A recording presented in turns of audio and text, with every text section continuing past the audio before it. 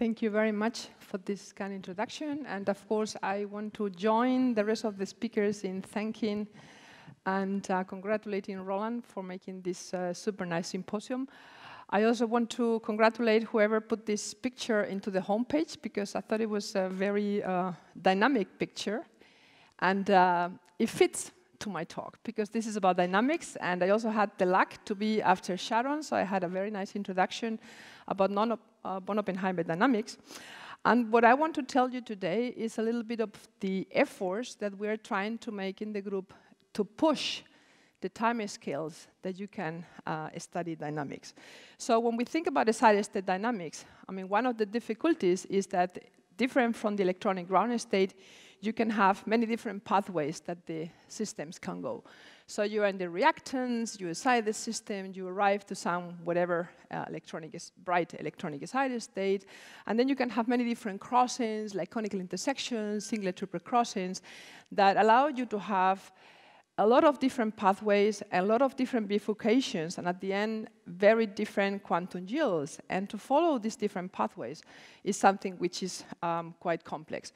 So in a sense, you already heard that if you want to do dynamics, you need to master two different fields. So one is electronic structure. If you just solve the time, the time independent Schrodinger equation, you're going to have access to some different properties like the energies and uh, the wave function. You're going to be, by yeah, optimizing different critical points, you're going to be able to have important uh, points of these potential energy surfaces, and you can even go a step farther and look into these crossing points and uh, decouplings. And then you're going to be able to imagine and postulate some pathways that the molecule can take. However, if you really want to see what is the system time evolution, you have to solve the time-dependent Schrodinger equation, which is here on the right. And this would uh, once you solve it, it's going to give you for free the time scales. It's going to tell you exactly which of these many different products you're going to be able to get and which are the branching ratios and the quantum yield. So you are going to get the movie of, of this. So in order to follow the system dynamics, one has a very long wish list of things that one is required. So, of course, you need to have quantum effects at some point, at least in the electronic excited states, I mean, in the, in the, in the time-independent part, and uh, even more in the, in the nuclear part, like we have seen in the previous lecture. Uh, you also need to have a good method of electronic structure that is able to give you something which is cost effective, but is still accurate because you don't have to make one calculation, you have to make a hundred or thousands of those. So you cannot just say, I wait three months for a calculation because you're going to have to repeat this, but you cannot make something very, very cheap because then your data is not going to be reliable. Now, by definition, being non-Born-Oppenheimer, you're going to have many different electronic excited states. You need some method which is accurate enough to describe the time evolution in these coupled surfaces, and typically the systems, they have more than one degree of freedom, so this is also going to put some, some limitations on, on, the, on the methods and the cost of your, of your calculations. And finally, chemistry, of course, in solution. So you also have to deal with how to put a suitable method for describing the environment that can be implicit or explicit. So on the quantum chemistry or in the electronic structure side, one can have many different um, methods and, and, ways to do that. And I have, I think, this uh, very beautiful picture from, from this paper that show us that actually, I mean, you can just go from molecules to more complex systems, like pushing the system um, uh, method, um, like you have here the quantum chemistry method that gives you access to calculate um, few atoms, maybe tens of atoms. Then you can go to some DFT methods and you can combine multiscale with multiscale methods. Then you can push these scales uh, much farther. But many of these uh, strategies that you see here, they are hard to transfer to electronic excited states. So actually, it's just this blob here and the DFT and the linear scale and DFT, which are methods that they can be used for electronic, electronic structure of the electronic excited states, that they are just uh, summarized here. And um, I invite you, if you don't know, to go to, to this book that uh, together with my host, we edited um, uh, last year, where you have a lot of chapters about the many different methods from the quantum chemistry that you can use for describing electronic excited states. Each of these methods comes with an accuracy, comes with a cost, so you always have to make a balanced choice of what you want. On the uh, nuclear uh, dynamics part, you also have a sort of, one could think, a Jacob's ladder on chemical dynamics. Again, I invite you to the second part of the book on dynamics for the excited states. There you also have many chapters that explain you the different ways that, uh, or some of the different ways that they can be for solving the problem. So on the bottom line, you have classical molecular dynamics, which of course is not suitable for electronic excited states uh, in principle. And in the upper uh, place, you have the exact quantum dynamics. So this means, I mean, you really solve the time-dependent Schrodinger equation, you have wave packets, and then, um, yeah, you, you, you go with that. And in the middle, there are like many different methods. And I'm gonna be uh, focusing here in the trajectory surface hopping method and um, and also for, for a moment for explanation on the quantum dynamics, uh, wave packet dynamics part. So if you want to solve really the exact uh, um, motion of a system, you have to solve this equation, and then you have to think, what do you have in the Hamiltonian? And this is just for a very simple case, for a two-level system. So you have your kinetic energies, and then here you have in the off-diagonal the kinetic couplings or non-adiabatic couplings that one needs to recover from the Born-Oppenheimer. Then you have the potential energies that would is what you um, yeah, normally would get with electronic structure. But you also need the couplings here, spin-orbit couplings, and maybe other couplings. And all this comes from the quantum chemistry. So you make your choice, and then you get these parameters. Once you have all these potentials and all these couplings, you can start propagating your wave function. So this is just a cartoon that you see, okay, you just put your wave packet in the electronic excited state, you let it run, and then you arrive to a region where these two surfaces are closed, and then you have some non-adiabatic coupling, this wave packet which is um, split, and then they will just, the two pieces, they will just continue propagating, and that's how you would do it, right? So this is very nice and it has beauties, so it's exact, and it has all the quantum effects inside. But it has also some weakness or some ambiguities, and this is that you need to have this 3 n minus 6 potential energy surface in advance before you propagate. So even if you don't know if you are going to need all the degrees of freedom, you need to have this full potential energy surface where you are going to propagate your wave packet. Now you can imagine this is a very strong bottleneck because molecules, they have many degrees of freedom, and 3n minus 6, this is um, very large. There are, of course, clever ways to do that. You can also go to some reduced dimensionality, or you can even think in making some model potentials, like harmonic type of potentials, or both, like reducing and making harmonic potentials. Uh, you can also go to, um, yeah, clever, I mean, programs like MCTDH, um, multi-configuration time-dependent Hartree way of thinking in which you have a clever way to propagate the wave function, and, and then it's not it's likely less expensive than doing just hardcore, like grid-based methods, um, uh, quantum dynamics. But nevertheless, the bottleneck is basically the same. So at the, at the end, you have to make a choice of which are the coordinates that you are going to use, and these sometimes cannot be uh, so easy or trivial a priori. So this is why there is another family of methods like surface hopping, trajectory surface hopping that have become very popular. And you see this is actually quite old, has been more than three decades already in place. And the idea here is that you just go away from the, from the dream of having this, this, this uh, uh, nuclear uh, um, quantum nuclei, but you have classical nuclei that they're going to move in the, in the potential. So now the nuclei are just a ball, and they're going to move. Now when this ball arrives to this region where the potentials are close to each other, cannot split like a wave packet. So you will have to decide whether it hops or it stays on the surface. And then if you, for example, decide that this is going to hop here at the place where you have this strong adiabatic coupling, then you just continue propagating in the, in the down surface. Now, the, um, the way to recover the wave packet is that you need to pay the price to have uh, a large, large ensemble of initial conditions. So you need to have many of these balls, a lot of these initial conditions. They're all going to run. Some will stay, some will hop, and then you continue propagation. And at the end, you have this swarm of trajectories that can recover the behavior of a wave packet. And then you have the statistics that are used to analyze. So instead of having just one propagation, you have many propagations. But this has some beauties I mean, now you don't need to pre-calculate the potential energy surfaces. You can just calculate what you need on the fly, right? You're at a position, then you calculate the energies and the gradients, you advance, and at this point, you calculate the energies, the gradients, the couplings, and everything. So this gives on-the-fly ab initio quantities. You're going to have many trajectories, but these are like independent trajectories in the simplest flavor of, of, the, uh, of this method. So this can be easily parallelized, but it's full dimensional. You don't need to make any compromise about which are the essential coordinates. Everything is inside. Of course, you also have a bad side, and this is that by definition, you are missing these nuclear quantum effects. So you have things like tunneling or interference, nuclear co coherences. This is not included, and this method is not good.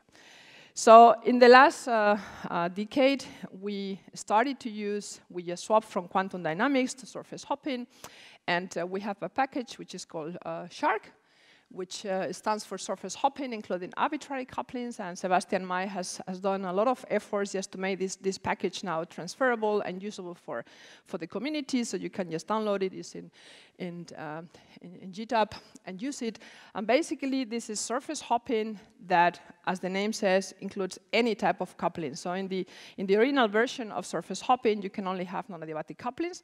So it means that you can only hop from and between surfaces of the same multiplicity, but often you would like to be a little bit more general, like for example, including spin-orbit couplings or dipole couplings, and then being able to swap between different um, um, uh, multiplicity surfaces.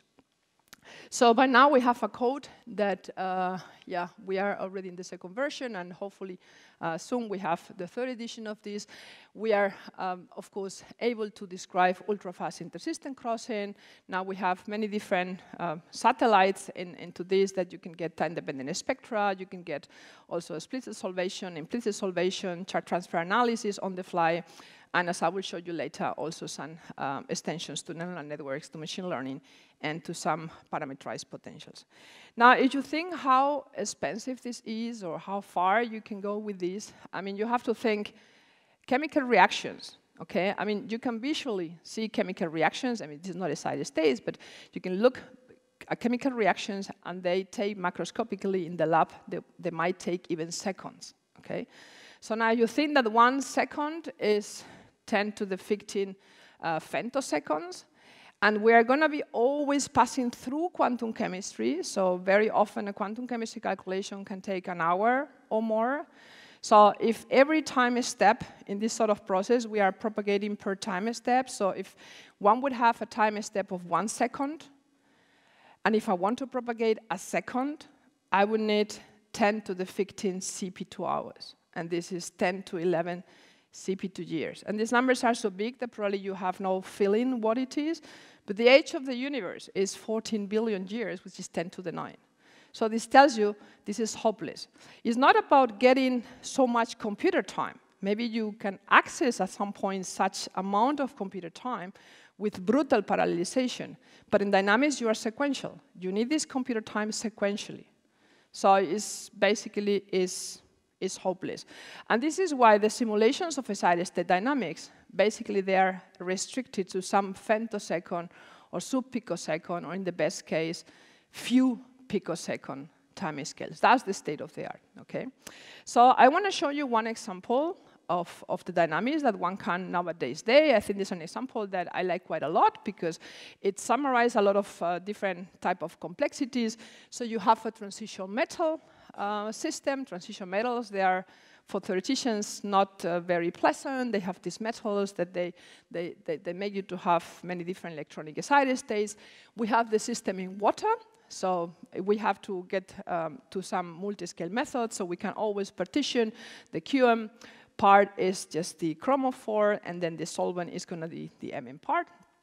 And in principle, you can just plug everything into a method like SHARC. So in this case, uh, um, here we have like six, uh, seven uh, singlets and eight triplets. So this means, remember, triplets are triplet. You have three uh, components. So this means 31 states. So this is quite a very demanding propagation, right? You have 177 degrees of freedom, and you have, yeah, the molecule and, and all the atoms. And you plug it into SHARC. You are patient enough, and then you get a picture like that. Okay, so here in this in this representation, you have all the singlets in in uh, in bluish colors and the triplets into the um, uh, reddish or brownish colors, and you don't see much, but you see that I mean you start in the singlets as you would expect, and then you have some very uh, fast decay of the singlets via internal conversion, and you have a suspecting from uh, metal complex. Uh, you have a very fast uh, population of the triplets. Maybe it's easier to see it in this way. You just can collect all the singlets and not the triplets in one line, and then one can fit these, these lines and get some uh, time constants. And actually here you have a sort of like bi-exponential mechanism that is something that we call electronic driven intersystem crossing and something that is really driven by the nuclear motion, which is about 400 um, uh, femtoseconds for the intersystem crossing. Now, for you to see like how you can even push these things to be comparable with the experiment for this molecule, there is also uh, experimental um, uh, time resolved fluorescent upconversion spectra just obtained from this reference. And the time scale that is just fitted from here is 144 femtoseconds, which is what in principle you would say you have to compare with these 400 femtoseconds. Now, the point, one of the points I want to make is that one cannot compare these things so easily because this comes from, from a spectrum, so you have a sort of like a pump and you have a probe. In the experiment, you always have a probe. In the theory, you don't have a probe. You just decide the system, you see dynamics, and we are happy with it, right? But if you want to compare these two things, one also should include this probe. So one should also uh, simulate the emission spectrum, and that's what you have here. And then you can just uh, deconvolute this thing, and then when you fit here the time constants, indeed, we find something which is 150 femtoseconds that beautifully um, agrees with the time scale of 144. So with this example, you, you, you see how far, how predictive can really this type of simulations go. You, you are able to get numbers that they really nicely agree with the experiment, and then you can interpret with experimental EC, because actually, as a matter of fact, I mean, this time constant was just attributed to intersystem time, uh, to um, intersystem crossing, but obviously, this is not only intersystem crossing. Intersystem crossing had a time constant of 400 uh, femtoseconds. So this is a mixture of everything what happens once you probe, right? This is basically, the, the, the, it tells you how the, the dipole moment in the excited states are, are changing. So it's a mixture, it's a convolution of many different processes. So one can do it, but just for your information, I mean, this sort of simulation took almost a million core hours, and it's very demanding. Another question is, yeah, we can do these things. You also see we have invested these million hours, and this is only 250 femtoseconds. The sighting part was, was very short, so that was okay. The question is whether one cannot push the system, the methods, the algorithms, the ideas a little bit farther to get beyond this, uh, this time scale. And then, um, okay, if, if now I recap I, I, was explaining to you, I mean, we have quantum dynamics, and it's nice because it has the quantum effects, but in most of the cases, in practical cases, you need to reduce the dimensionality and even use some, some, some model potentials like harmonic oscillators. So these are sort of disadvantages, but the community has been able to progress a lot with, with, with these things. And in surface hopping, you have just the opposite, right? You have these classical nuclei, which are not nice, but still somehow is, is working nicely. You have these ab initio potentials, and you have the full dimensionality. And then um, it was uh, Felix Plasser, which um, had a very nice idea. Why don't we combine, in a sense, both of the negative parts of the two methods, but the parts that they give you really the, the, the, the speed up. So we can also use these classical nuclear model potentials but we're going to propagate with them on the fly. So we can use surface hopping, and we are going to propagate on pre-parameterized potentials like people in the MTD, MTTH community would do. And this, as I will show you, allows you to speed up by orders of magnitude. I mean, actually so much that it forces us to rethink, re-Google the full SHARC code because it was based on, on, on, on, input and outputs, and you have to wait for hours until your quantum chemistry calculation is done. But now suddenly you wait for seconds, and the time in reading input and output is longer than the time that you do in the calculation. So one has to uh, actually redo everything on memory, and it's, uh, it's, in Python, so that's where the Python is, um, is there. So what is the idea of this linear vibronic coupling uh, model? This is uh, something which is um, quite old, that comes from the times of Koppel. I see I forgot the reference there, I apologize to them. But uh, basically this is a shifted harmonic oscillator approach okay, where all the harmonic oscillators in the simplest form, they're identical. So it's very simple. I mean, you require the normal modes, uh, you require the, of course, the frequencies, the excitation energies, and then there is something called uh, intra and interstate vibronic couplings. And this allows you to shift vertically and horizontally these harmonic oscillators, okay? So these are harmonic oscillators, so one needs to be aware of the fact that you have no harmonicities, so they are only good for the reference geometry, so you cannot describe things like dissociation. Or if you have very strong torsions, and these are important, you cannot use them. But if you have rigid structures, like for example, transition metal complexes, this is going to be, or this is something expected to be um, quite nice. The beauty is that you have all the degrees of freedom. You don't need to make any bias, any choice of coordinates. You can have all the degrees of freedom.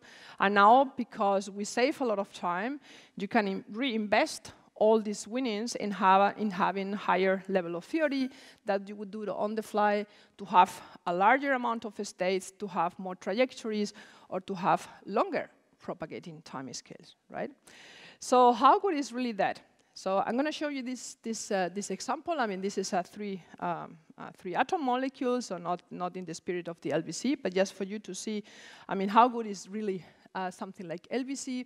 So upstairs here you have Sharpton uh, ab initio with a very good level of theory, multi-reference CI singles, and here you have the SHARC LVC. And uh, what you see is something which is qualitatively not bad, right? I mean, you have here the singlets, and they have a very strong uh, exchange of population between them. Somehow in the in the vibronic uh, coupling model, this this uh, this this this bitting is stronger, and you have a chan uh, um, um, um, a population uh, change to the triplet, to this 3b2 potential, the correct triplet that is happening in both systems. So quantitatively it's not the same, but I would say is quite reasonable, especially taking into account that the uh, graph upstairs, it took, it's like about 100 trajectories, and it takes you like 15,000 hours, and downstairs you can go almost to 2,000 trajectories, and it takes three hours. Of course, you also have to pay for the parameterization, but that's, in comparison, nothing. Now you can wonder, I mean, how good is this at all, right? And this system is so small that there is also exact calculations for this. So this is MCTDH done in ab initio potentials, MRCI single doubles. And uh, you also see the right triplet going up. You also have the exchange, the internal conversion between these two singlets. And you also have this beating that somehow here, despite the difference between this and this is uh, um, like, yeah, from the ab initio, I mean, the, the potential energy surface description uh, so here this bitting is, uh, is more accentuated. But funnily enough, if you also take this template and you plug it into MCTDH, then you see that you have the correct picture, but that this bitting is also overestimated. And I say this because, I mean, if you would be able, and we have also, um, we use this as an argument now, the difference between this and this would be only the quantum effects, right?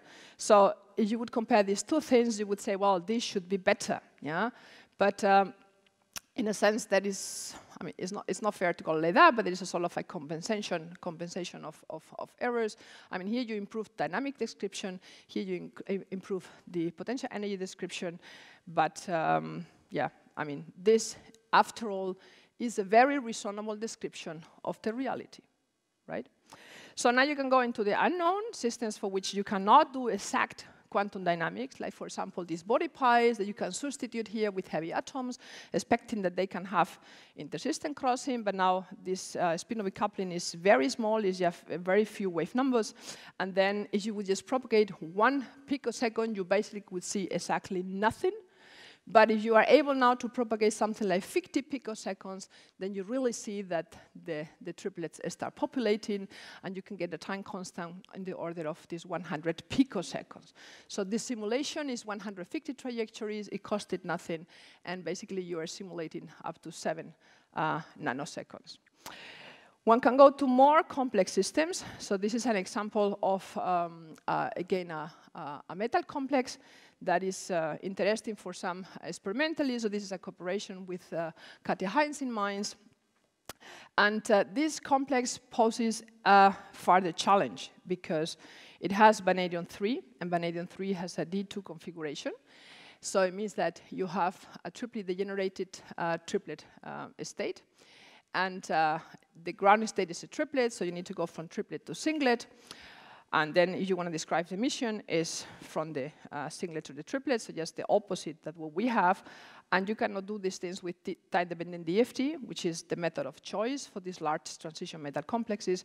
You definitely need to have multi-configurational methods. So here we choose a CASSCF uh, 1013. Uh, one is something like 54 states. And just for you to give you a flavor, if one would like to do this on the fly SHARC um, dynamics, let's say you want to propagate for one picosecond and do 100 trajectories, this would cost you like 50,000 uh, million hours, which maybe you can get it, but it's, it's, it's, quite a lot.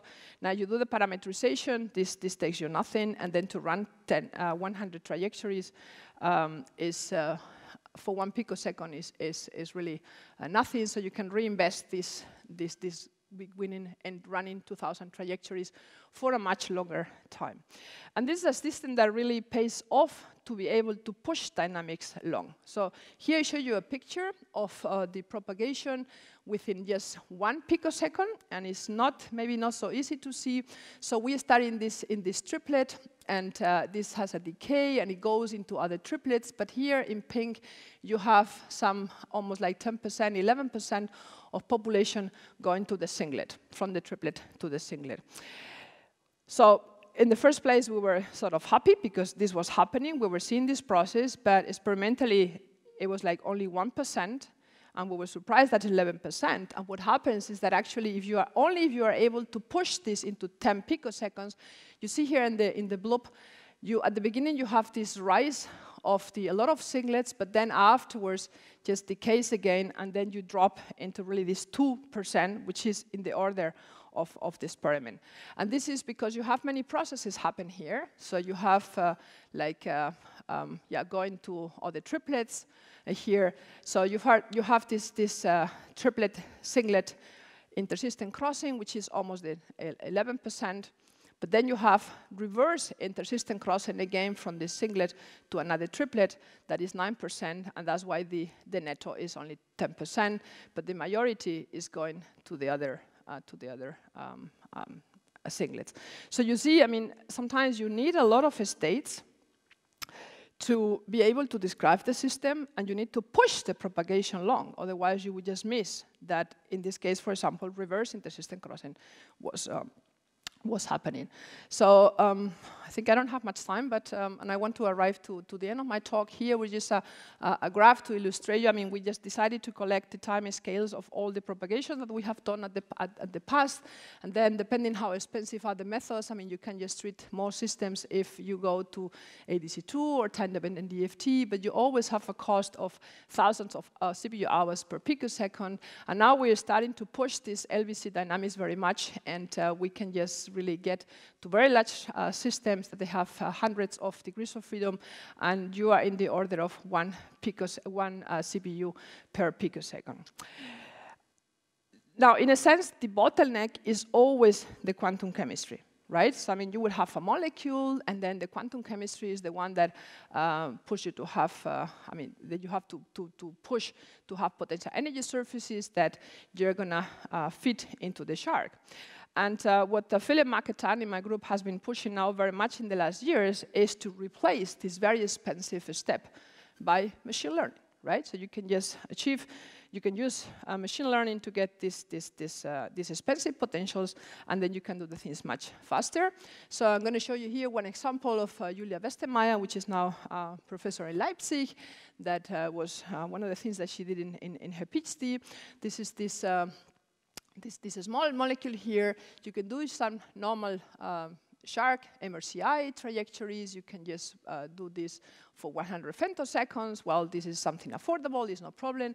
You can do that. but now you can just do neural networks and you see the behavior of these uh, potentials. This is quite nice.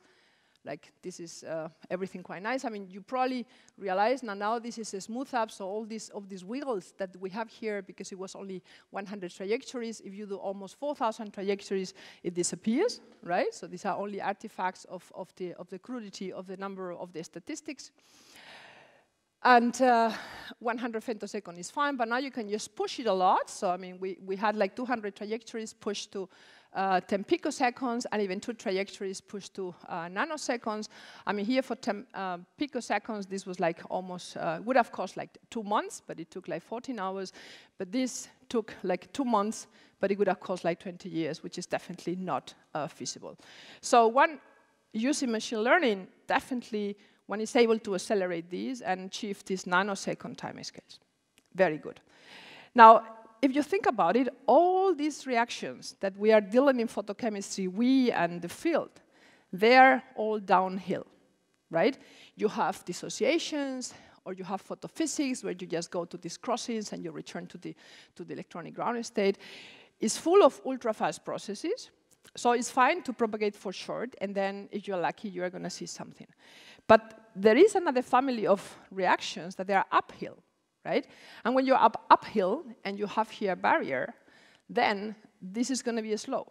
This is going to be on the order of microseconds, right? And still microseconds is a million of nanoseconds. So before I was very proud to tell you in two months I can get nanoseconds, but if now I multiply by a million, it cannot be done brute force, probably not even just with machine learning. You have to be more clever. Now, this sort of uh, reactions, they belong into the category of rare events, right?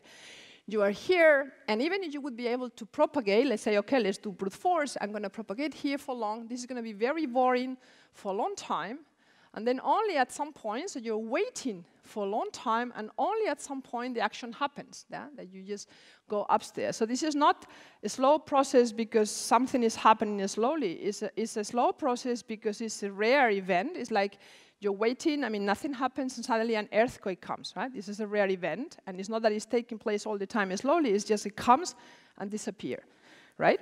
So it doesn't really make sense to use brute force to push simulations for a very long time, right? The idea would be just to fast forward and go to the interesting part. Now, these rare events, of course, they they have been dealt with in the electronic ground state. So there are methods like, for example, this forward flux sampling, that they are able to, uh, um, to, to, deal with non-reversible dynamics in stochastic non-equilibrium systems in the ground state, okay?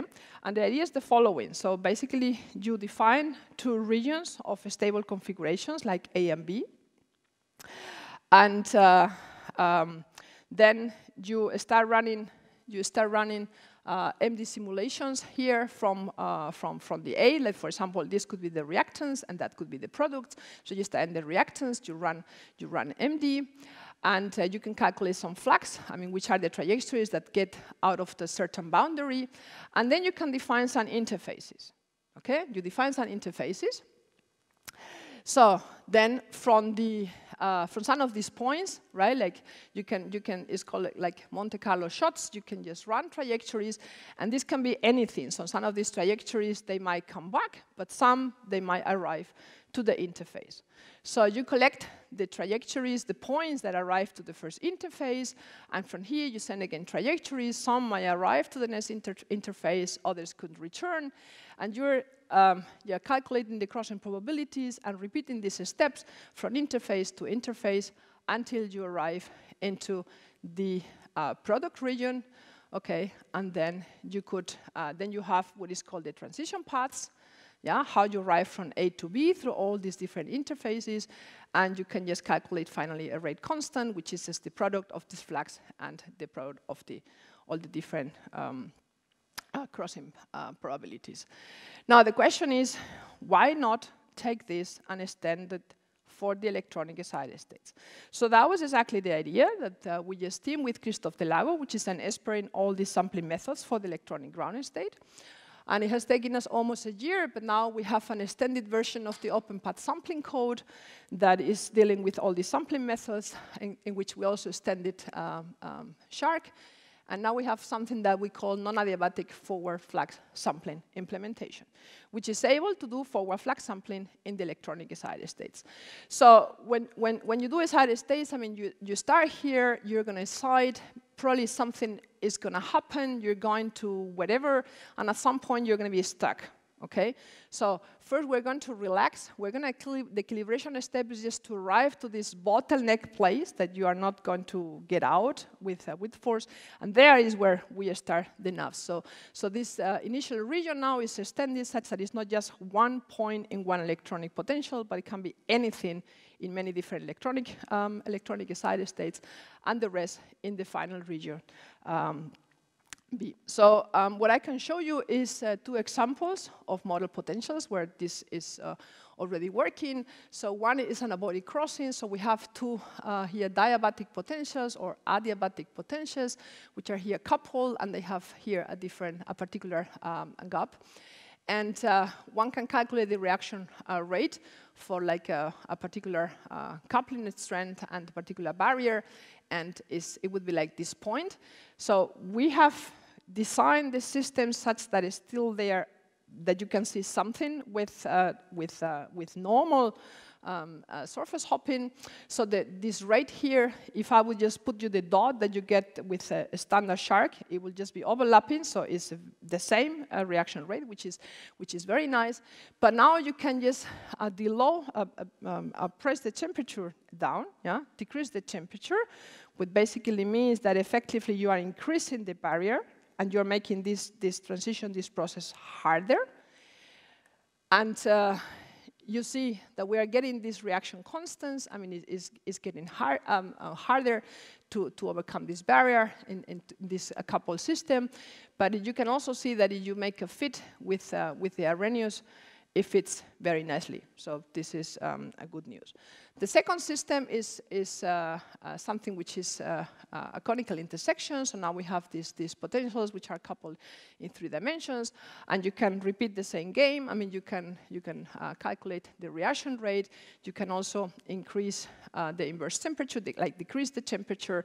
And then this process is harder and harder for surface hopping, but it gets the same easy for for, for NAV. So you have here in this table, um, basically we have run like 5 million time steps, right? And this tells you per million, I mean, how many time steps uh, transition surface, I mean, tra trajectory surface hopping, like a, standard SHARC, needs for a particular barrier, like the standard barrier will be 3 kBT um, it, how, how, many time steps it needs to make a transition, and this is how many steps is needed enough. And you see here it gets harder and harder, so you need many, many, many, many more of these to, to get a hit in which um, you, you get a transition, but enough this is almost constant. So for hard cases, basically you gain uh, like two orders of magnitude in, in, in, efficiency. And then for the conical intersections is sort of the same thing.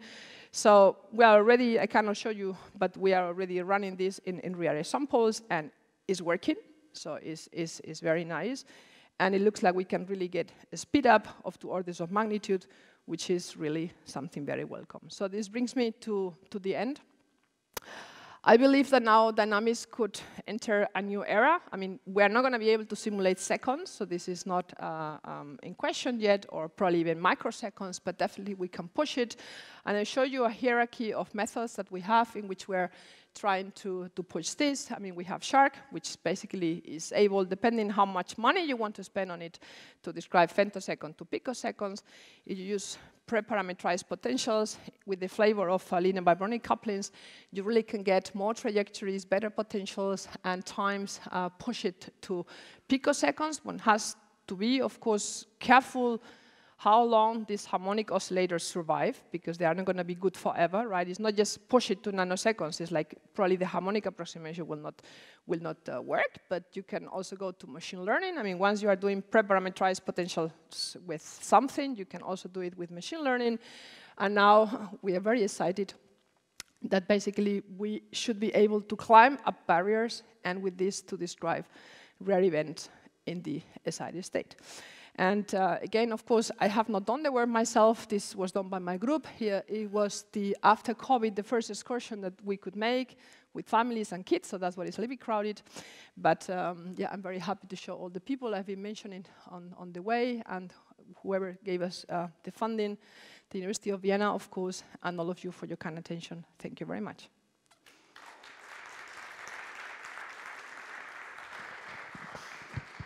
Thank you very much for, this very exciting, fascinating talk.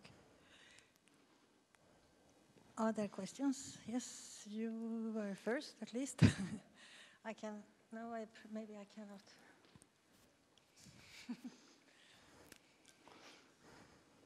ah, he'll run.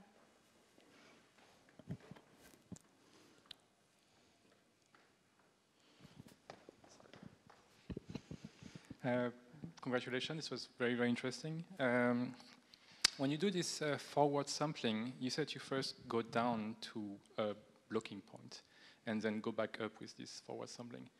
Do you still keep in any way memory of where you come from, like inertia or anything like this, which could be, I don't know, important or or you just think at that point you have lost everything, you take too much time there, so it's... No, there is, so, so basically this is the general approach that we have conceived, right? Like that you would, in, a, in, a, in the, the model systems that I have, they are of course different because you don't need to equilibrate, you, you know where, where you start, right? But in reality, it might be thinkable that yeah, first you just go through a conical intersection, and at some point you are just trapped in a minimum, and that's where you are not going to get at, uh, get up. So you would just run like a normal SHARC, and there you will just switch on the navs, and that would be the, the re-initial conditions for the navs, and then there is no memory.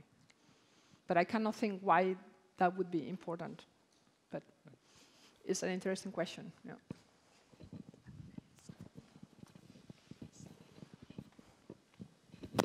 For the sampling of rare events, um, I was wondering, and the fast-forward concept, how, how do you make sure you're not missing anything in between? Or like the, the analogy to an earthquake is you need to have some kind of detector that tells you it's coming soon. This is a very good question, and the honest answer is I don't know. We don't know. I mean, we have done this model potential, which of course we know everything. We're now doing uh, a real system, but we basically also know what is in between, and we know that you cannot do dynamics. You have to define your reaction coordinate, yeah, your collective um, coordinate. This is the, the price that you pay for, for, for these methods. And um, I also wonder that myself, right? I mean, very often, in theory, that's a problem. In the practice, I'm not sure we will encounter this problem very soon because when, when, we do dynamics, or the community that does dynamics, normally explores the potential energy surfaces with quantum chemistry. So you have an idea of the things that can happen to you. You don't know exactly where you're going to go. I mean, you might hypothesize or not, but you have some ideas.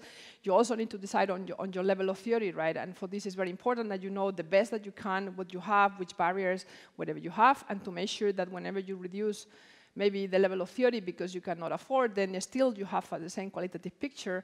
So I believe, or I, am hoping, that we always have an idea of how we should define these, these collective variables, and then with this, we're on the right track, and we get something that is trustable, right? But I mean, depending on the complexity of the systems, this might not be true. And the hope is that we also arrive to discovery, yeah? I mean, sometimes you do, all, we always do this, and I think the community does this to study the system a priori, but sometimes dynamics teach you different pathways, right? But still you were in the right track, enough right track that you discovered these pathways. So I'm also hoping that this gives you, but it's too early to say. I mean, this is now something is super new, and uh, we'll see.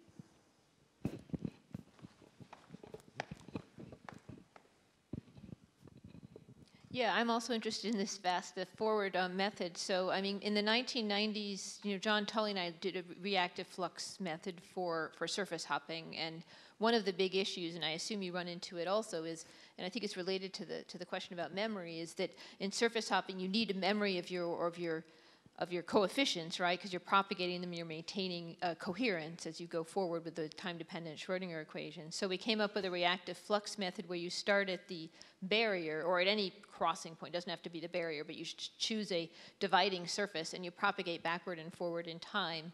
But you propagate with a, with a non-adiabatic um, surface hopping algorithm that, where the non-adiabatic coupling does not depend on the coefficients. And because because we don't know what the coefficients are in the middle and you need that memory. And so then what we would do is we retraced the trajectory with true surface hopping weighting it by the by the ratio of the true surface hopping probability and the fake one that we used to get it uh, you know forward. And then you and then you end up sort of sort of like almost like umbrella sampling where you undo it statistically weighting your trajectory ac- accordingly and then you can get the correct uh, you know the correct dynamics from that. So it seems to me you're going to have to do something along those lines in your method because how do you know what your coefficients are and you need to know them at the beginning if you're if you're doing this kind of artificial uh, sampling? But I mean, we try first with transition path sampling, right? And it didn't work because you need this reverse dynamics. Here we don't do any reverse dynamics. You don't need to have reverse dynamics. So you are advancing and you are advancing, right? You only discard these trajectories that don't, don't arrive to the interfaces, and you keep the ones, but you are always forward. but So- what are your coefficients doing as you go to these different pathways and explore them? Yeah, you- How are uh, you determining? You're just integrating the time-dependent Schrodinger equation and just letting them move? Sure, but I mean, that, that's part of the tricky aspect of defining these interfaces. I mean, how close are these interfaces that you arrive to the interface, and when you don't, I mean, these things are discarded. So you only continue forward with these trajectories that arrive to the next interface. And you have to play a bit with this to make sure that they are not very, very, very far, because then you don't, you don't see anything, that they are not very close, because then it takes you forever, and, and these type of things. Okay, yeah, I'm just, I'm just wondering how you know what the quantum probabilities are, though, when you get to this interface. I mean, you must have coefficients of your different adiabatic states, right, if you're going to do surface hopping? Or do you just set them to one with your occupied state at that point? Yeah, we'll have to think about it. I mean, this system, we only have like two states, and, and this was easy. And for the other case, we also have only like two states. I will have to think about how this really is done in our case, because Yeah. we have, yeah. I think it's can, it can be done. It's just an interest. It's a challenge. I think. Yeah, I'm sure it can be done. And I think the forward way will have the advantage that you don't have to go backwards. Obviously. So, Exactly. yeah. I mean, the price is mm-hmm. you need to put this collective variable, but at least you don't have to go back. Right. Thank you.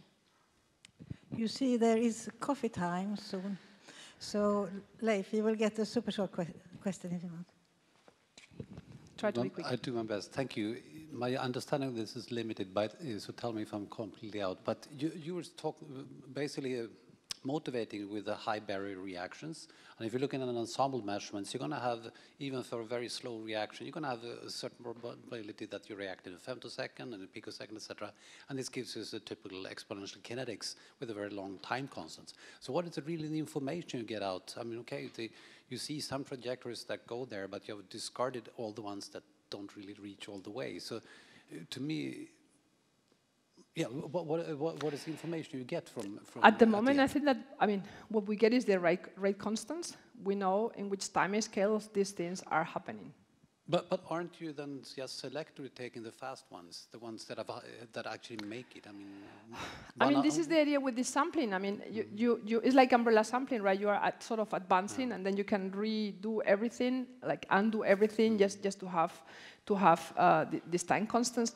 So you have, if, the, if your ensemble is, is large enough, Hmm. all these trajectories are going to be arriving okay, so arriving ba- there, basically so and you have these probabilities that you are going to that you have in your in Okay, your. so, so at every interface, you're basically saying how many, how many, how many trajectories actually reach there and how many did. Okay, okay. Yes, you can count this exactly. Okay, thank you for the questions. Thank you for the answers. Th- thank, Thank you, you. for the talks.